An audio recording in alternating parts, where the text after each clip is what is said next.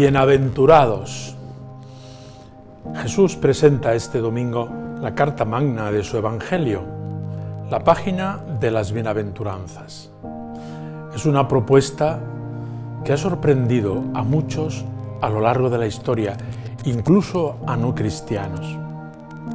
Es una página que se hace vida en tantos santos de todos los tiempos, antiguos y contemporáneos. El hombre ha sido creado para ser feliz y muchas veces experimenta todo lo contrario. Experimenta en propia carne el dolor y el sufrimiento de múltiples maneras y cuando mira a su alrededor constata cuánto sufrimiento hay en el mundo.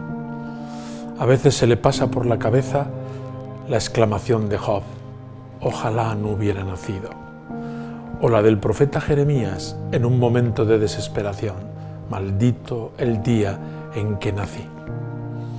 En este contexto, algunos autores ateos de nuestro tiempo afirman que el hombre es un ser para la muerte, destinado a morir, sin más horizonte. Sin embargo, Dios no se arrepiente de habernos creado. Dios quiere la vida, es amigo de la vida, nunca de la muerte.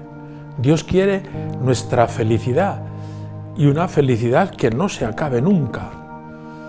Ese misterio profundo y contradictorio en el que el hombre se ve sumergido tiene una clave.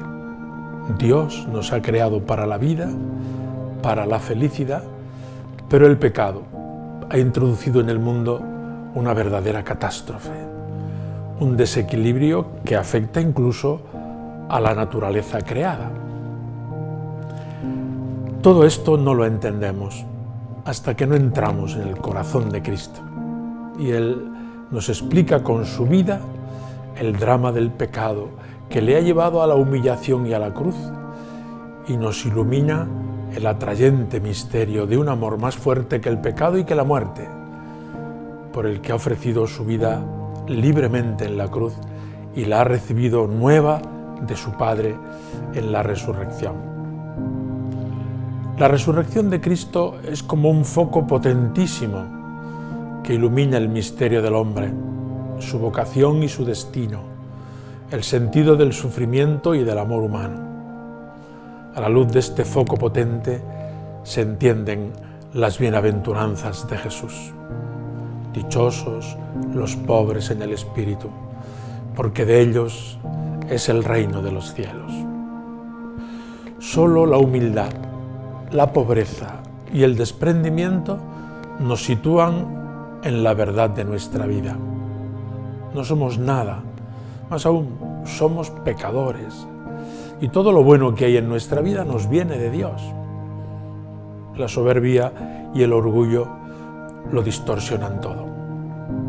Jesús, siendo Dios y sin dejar de serlo, ha aparecido en su camino terreno como pobre, humilde y despojado de todo sin buscar su gloria, sino la gloria del Padre y en disponibilidad de servicio a todos. Y por este camino nos llama a seguirle.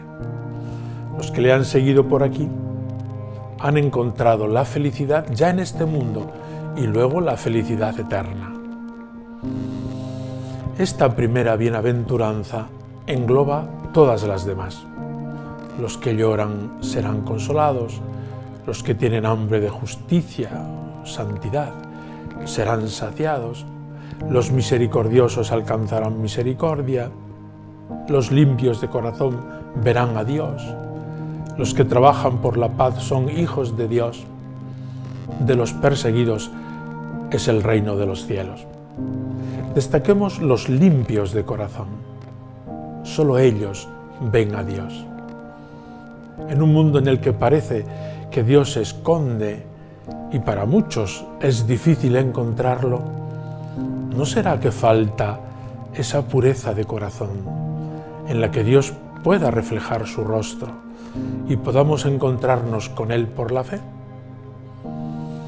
Termina Jesús las bienaventuranzas subrayando la persecución por mi causa. Estad alegres y contentos porque vuestra recompensa será grande en el cielo. Muchas veces somos perseguidos por nuestros defectos, por nuestras limitaciones, por nuestra culpa. Nos sirva de penitencia ese sufrimiento. Pero quizá muchas de ellas seamos perseguidos porque somos de Jesús, porque anunciamos su Evangelio, porque pregonamos la verdad. A los mártires se les ha concedido el don de llegar a esta bienaventuranza. No tememos estos sufrimientos que son timbre de gloria para los verdaderos discípulos del Señor. Recibid mi afecto y mi bendición.